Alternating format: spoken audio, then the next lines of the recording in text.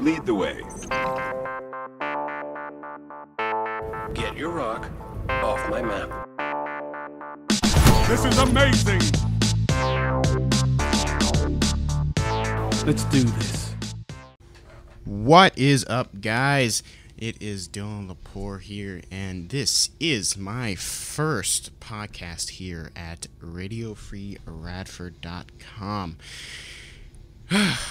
In case you guys didn't know, I do another podcast called the Monday Morning PlayStation Podcast, and I'm doing this at Radford. So, again, in case you didn't know, I'm Dylan Lepore, and this is the Thursday afternoon games chat. And yes, that is the name I've came up with so far. Each and every week, I come up to give you an in-depth talk about the games I play and some history about them. The podcast airs live on Thursday at 1 p.m. Eastern Time on RadioFreeRadford.com, and then a week later, it's releasing on YouTube at YouTube.com forward slash Dylan Lepore and other podcasting services like SoundCloud and iTunes as a downloadable MP3. And thanks for tuning in. Today's gameplay is uh, it's about you know, games and Destiny. so today's first game is about uh, Destiny, uh, and this is not Destiny 2, but the original Destiny that came out in, uh, you know. Uh, 2014, uh, somewhere September 2014 ish, and that is uh, it was uh, a pretty well received game at the conventions like E3 and PAX and uh, stuff like that.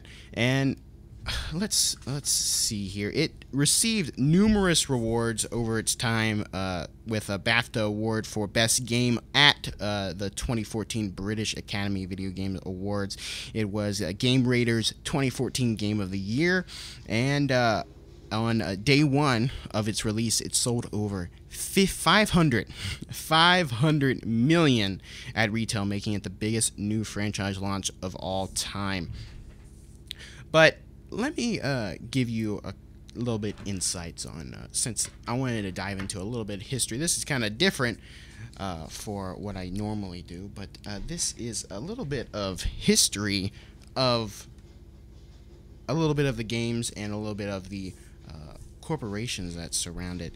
So Activision is one of the companies uh, that uh, helps make Destiny. And Activision, Activision, man, what not to say about them. Activision has made Call of Duty, Skylanders, Guitar Hero, Pitfall, Atari games. Activision has been around for years, uh, years since exactly October 1st, 1979, and was the world's first independent developer and distributor of video games for gaming consoles. It first its first products were cartridges for the Atari 2600 video game console system published from July 1980 from the US market and from August 1981 from the international market uh, UK. And they've been uh, I, don't know I don't know some distributing issues with the game and some licensings. A lot of people quit, uh, left Bungie, uh, mostly because of Activision and different views they signed on to and different changes and people just didn't agree with how that worked because uh, usually Bungie is uh, a more relaxed uh, video game company they uh, they're more laid back, even though they're uh, in Seattle, Washington. Uh, they're usually laid back and uh, pretty chill about uh, what they make and what they do there. Uh, but Activision brought in uh, microtransactions, which was a big no-no. but they wanted to find a way to make more money so the game would last longer and more profit for Activision, of course. but uh, we're not here to talk about Activision. That was a brief history of Activision. Uh, let's talk about Bungie and the makers, the makers of uh, Destiny, uh, freaking Halo, uh, Myth. If you ever played the computer game Myth, uh, you're really, you're truly missing out on a very medieval magic kind of really I don't know horror-ish game, uh, very dark game, and it's very very good. I played it a ton uh, when I was uh, little, and I can't I, I couldn't stop playing it. It was uh sorry for the noise outside. There's a guy cutting the tree, uh, cutting a tree. Uh, but Myth is just it got me addicted uh, to. It's one of the games that like I can like really remember from my childhood of uh, when I was so freaking young. I played a PC, uh, Game Boy. Uh, the PlayStation was like my actual first console I ever got into. Uh, we'll talk about more games related to those systems as the podcasts as each Thursday passed, and it's gonna be uh, it's gonna be a fun time. But Bungie and Myth, uh, Myth was like my first introduction to Bungie. I didn't even know it was Bungie. I was like, this is just a great game, and surprisingly, it uh, was uh, Bungie. But Halo, uh, I never now, lots of people have differing opinions about Halo now since uh, Microsoft has been doing uh, different things with Halo. But I never really got into Halo. Like my brother played Halo a ton. My dad played Halo a ton. I would be over on my PlayStation playing uh, freaking Spyro, uh, uh, Spyro the Dragon, and uh, stuff like that. I was like, uh, I was like, none of you guys want to play with me oh god, it was uh, it was great times. But uh, uh, I always enjoyed uh, uh, sitting in front of them and uh, watching them play Halo.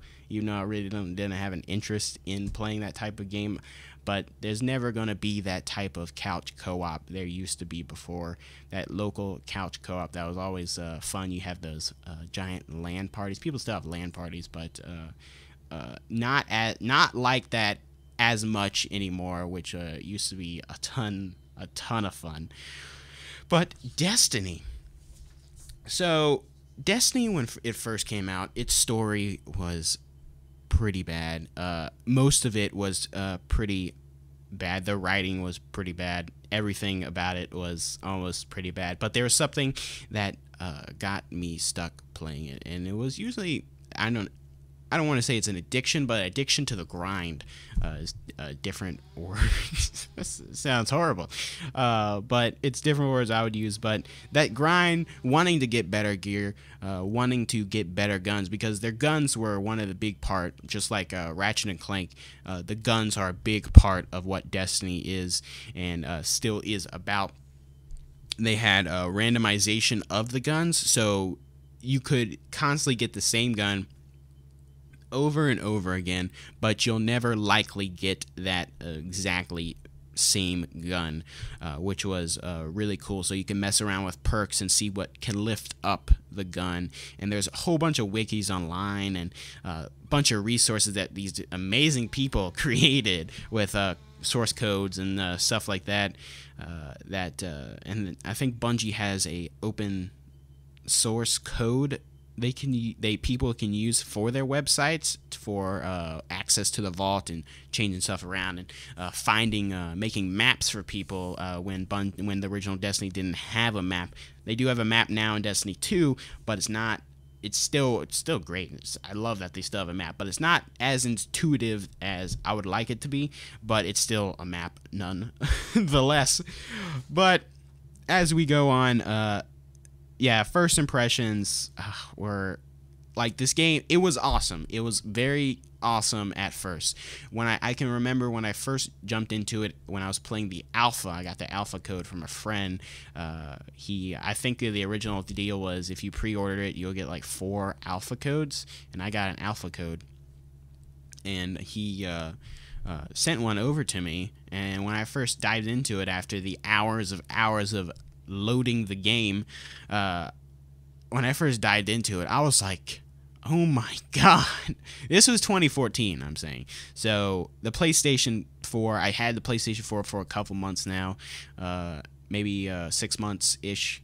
And uh, when I first dived into it, I was like, oh my god, I never seen anything like this before. It was insane how beautiful the game was. The graphics were amazing. The skybox was incredible.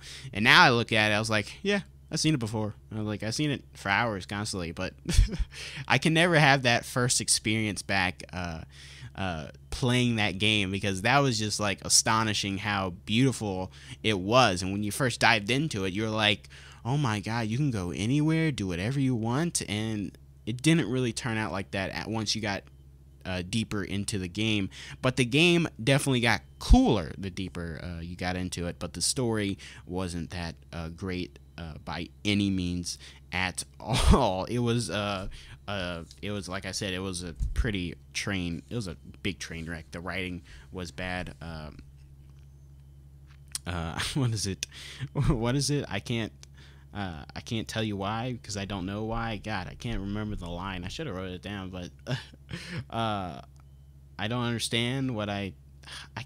I can't tell you what I don't understand. I don't know, but it was uh it was uh pretty, it was pretty funny. If you guys play Destiny, uh, you guys know what I'm talking about. It'll it'll probably come back to me, uh, but so with this game, uh, they released uh, expansion packs, a few expansion packs with live events attached to those expansion packs to celebrate seasons like uh, winter and uh, Halloween and uh, celebrating Destiny. They also did a Valentine's one, uh, and that lots of them were actually pretty cool, and lots of them were uh, pretty boring, or at least they dumbed down some of them. Uh, which was a kind of a bad idea because uh, especially Iron Banner was one of the big highlights, and now in Destiny 2, Iron Banner is not that big of a highlight anymore. Even though, uh, if you're listening right now live this week, uh, it is uh, faction rallies are up right now uh, live, so you guys can watch that. But let's dive into it because this is only a 30 minute podcast, and uh, that helps me keep uh, my blood blood pressure low because all the stuff I'm doing. But let's talk about the Dark Below real quick and how. so, the original Destiny it was uh, bad. But uh, when the expansion came out, it uh, took the bad and made it into worse. I don't know how they did it, but uh, at least the story, and they added a new character, the Tower. At least the story was kind of okay, uh, and uh, it was very short too. It was very short, and they brought another raid on top of the uh, raid they used to have, which was the Vault of Glass, and now we have Crota, the Crota raid, and that was uh, really uh, difficult first going in, especially in the darkness at that first part uh, where you're running into the darkness and you have to guide your team. And for those who do not know what a raid is, a raid is a team-based. Uh, you have to get your own team together and it's a team based activity that requires everybody to participate everybody can concentrate everybody to listen because if you aren't listening the raid is just going to fall to pieces and they really messed up on uh, how the raid was because uh, it made you uh, it made you God, it was horrible. It made you uh, redo exotics all over again. So, like, say, like, I had a gun, and I leveled it up all the way. Well, guess what? You have to do that again using a different perk, using a different item to make that thing go up into a level again, which was a horrible, horrible system that they implemented. And uh, it uh, you had to re-get everything all over again, and it was just pointless and it was frustrating and uh, at least at least the story was a little bit more entertaining uh, than especially the ending and then uh, after that, the House of Wolves came up and it showed some light in that dark, in the dark below. It showed some light. Uh, House of Wolves, uh, it was better than anything that has came out in Destiny thus far.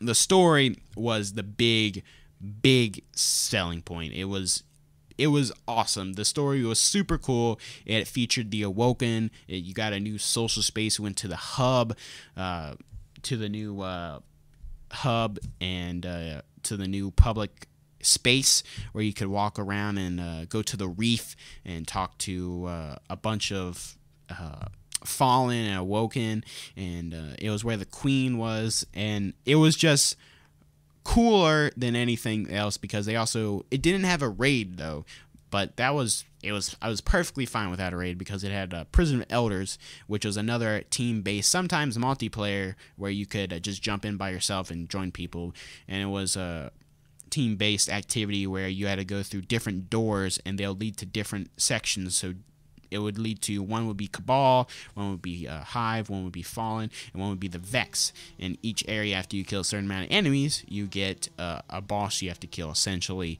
Not all the time, but you have to do some activity to get to that. And uh, after that was where you had to kill Skolas. And uh, he was pretty difficult to kill at the very beginning when everybody was trying and they didn't had anything to uh, level up with and nothing to really work with and it was uh, it was it was pretty hard. Uh, we had to come up with our own routine how to kill him. Now since we're overpowered, essentially we can just go in there and be like two shot him and he's dead.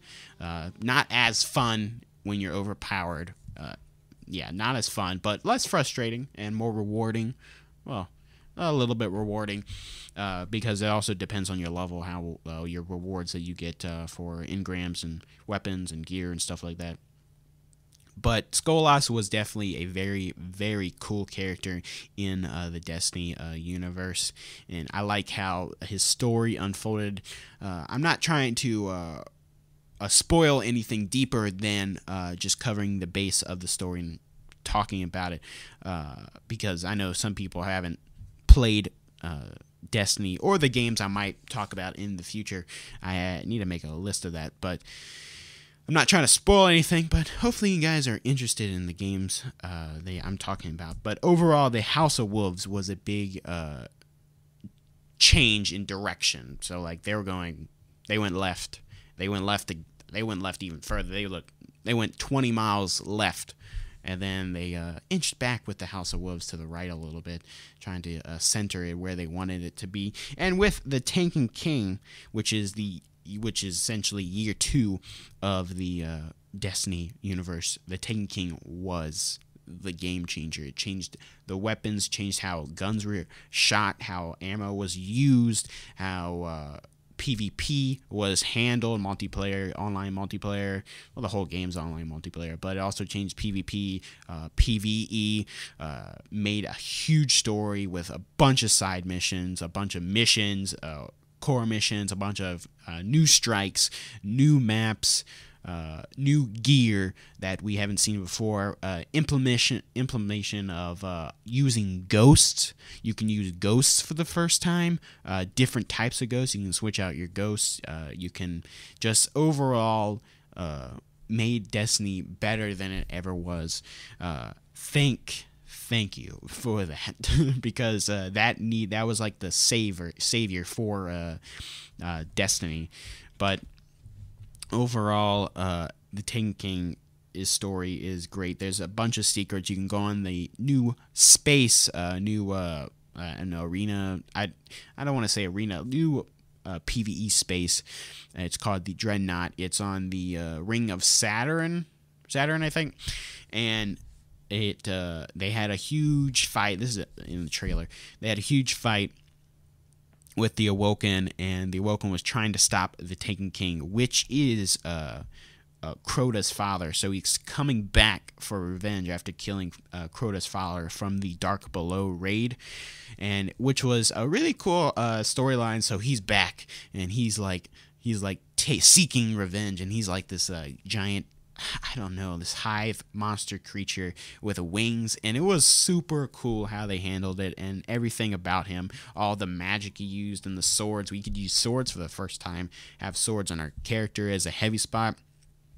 Overall, it uh, made a huge change in uh, the Destiny universe. Uh, the best thing so far. Uh, there's a bunch of secrets in the Dreadnought, along with cool raids. Uh, I mean, cool uh, strikes within the Dreadnought. And the raid, yeah, the raid is even. that it was one of the hardest raids, uh, one of the most confusing raids to beat, one of the hardest raids to beat, one of the most complex raids overall. Uh, it was just very, uh, very confusing and once you got it, it was it was something to smile about because uh, uh, anybody who completes a raid knows how hard it is and how much concentration they need because it is a six man team. Yes, a six man team. And you guys have to work together online, together with sometimes even with random people, work together to get these tasks done because a lot of people have trouble uh, listening during the raid and making sure they actually know what to do because some might say, Yeah, I got this. Yeah, yeah. And after you explain the entire thing to them, and they're like, Yeah, I got it. And then you do it, and you end up failing a thousand countless hours away. Jesus, eight hours I spent with one team, and we got nowhere. It was it was pretty sad. but overall, yes, the Taken King was a game changer, and any highlights, every highlights all through it. Uh, the enemies were better, and they featured, yeah, they featured Taken, uh, which is a new enemy. I forgot to mention, and it was, it took Taken, it took uh, the enemies we already know, and they made them into. Sorry about the noise outside. Uh, and they made them into uh, Taken, which were like ghostly characters, and they would give them different abilities. So, like, one could uh, multiply. Once you shoot it, it could pop up another one. Uh, once you shoot it again, it could pop up another one. Uh, they had different shields. They had different uh, tracking tracking bullets, and yeah, it was overall cooler how they did that. I wish they would implement a different character, maybe a new enemy, uh, but uh, they're still focusing on the enemies they still have, and at least at least the enemy Taken gave it a different kind of twist to it. Uh, and then along came Sally. No, uh, Rise of Iron uh, came out was the next one after uh, quite some time uh, not that really. It was after the Taken King came out, and then a bunch of sub events came out, uh, like a Halloween event, SRL. We finally got to race sparrows. That was awesome. Uh, I like the way they did that, and uh, it was very different. And it was great during the holiday season to do that because I was just like at home with hot chocolate. I was like, "Who wants to race me in Destiny?" Uh, because uh, everybody that was more of a fan thing that the fans came up with, and Destiny heard us. They heard us. Whoa. Uh, and uh, they implemented SRL uh, into it, uh, which is a Sparrow Racing League. Yeah, Sparrow Racing League, and that was a big thing that everybody was excited about. And uh, their merch on the Bungie.net store was uh, pretty fun. And they had like bicycle jackets on. it was overall a great event. And then after that, they came out with uh, a few more events like a winter event uh, and uh, a Valentine's Day event, which they only did once, I believe. They only did that once, which kind of which kind of sucked a little bit. Uh, but again, it only lasted a week. It should have lasted two weeks, but it only lasted a week. But overall, it was a it was a great event. But Rise of Iron, when that came out after this long wait uh, they came out with a poster and the people were like, "Oh, that's fake," and I was like, "That looks totally real." to me. I mean, I, I don't know what you guys are talking about, but it, it turned out it was uh, a real poster, as I suspected. I mean, I mean, who does? I mean, that's a great job in graphic design. I mean, they should be working at Bungie. uh, but uh, they introduced a different type. I don't want to. I don't want to keep saying different type of enemy because it's kind of like the same enemy, uh, so it's the Fallen, but infused with Siva, and they're kind of like pirates. I mean, the ones with a, with like a peg leg, and uh, it was uh, overall a pretty good. It was just overall it was a pretty good.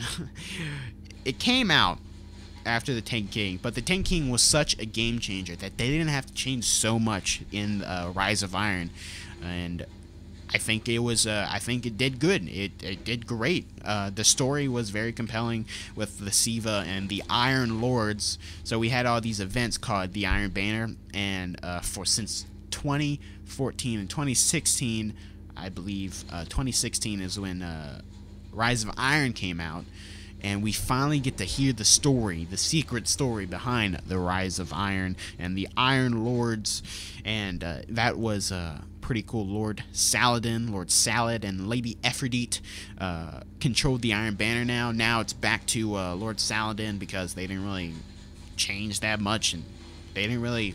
I don't know. I don't know why, uh, but we had a new social space and a new area to explore outside the walls of Destiny. So, like, uh, uh, there's this giant wall that's holding up Destiny uh, and keeping out the bad guys, but the wall is broken, and uh, so the bad guys are in, and uh, uh, the wall got broken even. the wall got broken even worse this time around, and more enemies came in. And Lord Saladin was at the forefront, protecting the the wall from uh, creatures and stuff. And so he called on our help, and we uh, helped him. And uh, yeah, it just it, and he taught us how to be an Iron Lord, and we became Iron Lords ourselves, which was pretty funny. You got this giant long sword uh, with the Iron Banner uh, etched on it, and it was uh, pretty pretty cool. Uh, the story was great. Uh, the raid was I didn't play this raid much, uh, but uh, they had some secrets in it with like binary codes and stuff. And I was like, when that came out last year, uh, I was actually learning binary, and uh, it was funny because the day I learned binary, at a couple days after that, like two days or one day after that day, uh, I used the binary codes for the raid. Uh, and I was like, "What? I just learned this. I can do this." And that was uh, that was a pretty funny moment there. Uh, but overall, the story was really good. Uh, the Iron Lords. Uh, uh, like uh, fought off the Siva because the Siva is like a swarm of like think of a swarm of gnats coming to you, but kind of red and kind of uh, metally, uh, maybe like roboticy, uh, and they would enhance gear and stuff, but uh, they actually turned out to be evil and would control people and uh, have a mind of its own, and uh, would use them and uh, use them to uh, defeat their friends and uh, stuff like that. And so the Fallen got a hold of it, and now they're using it again, and they're right. They're bringing back weapons and creatures uh, from past strikes uh, to uh, uh, from the dead that we killed in old strikes, and that was that was really that was a really cool uh, transition from them, and it was very interesting how uh, they did it and how uh, it was not as in depth as the Taken King, but their I think their school their story was a kind of more it was lighter, it was lighter instead of uh, as the dark tones as the uh, Taken King. But overall, it was a, a pretty, uh, uh, pretty, yeah, pretty good story, and pretty interesting uh, with the technology and uh, how they worked around everything. And uh, again, the raid with his secrets and yeah, the binary secret was the hardest secret to crack when first competing it. But once you get it, the room you go into and everything is pretty pretty fantastic. Uh, but overall, uh, Destiny as a whole it was an okay game. I'm not trying to rate it here. This is not that type of podcast, but uh, I'm not trying to rate it here. But if I would give it a rating, it would be around uh, a six or a seven, which is uh, not average. So like a six or a seven would actually be pretty. Uh, would actually be considered bad. Uh, but I wouldn't consider it that bad. Like, there's some pretty terrible games out there, but uh, uh, you gotta love all games. You gotta give every game a chance, you know.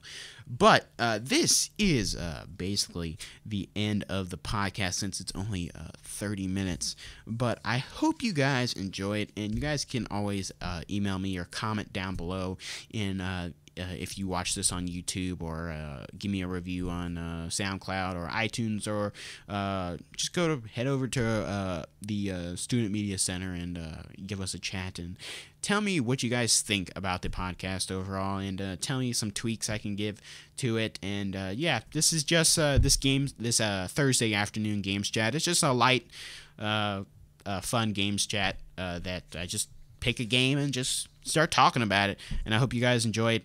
In case you didn't know, I'm Dylan Lepore, and this is the Thursday afternoon games chat. Each and every week, I come to give you an in-depth talk about the games I play and some history about them. The podcast airs live on Thursday at 1 p.m. Eastern Time on Radford on radiofreeradford.com.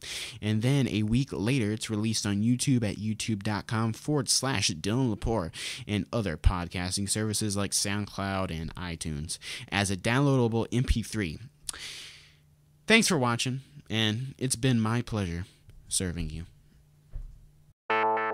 Lead the way. Get your rock off my map. This is amazing. Let's do this.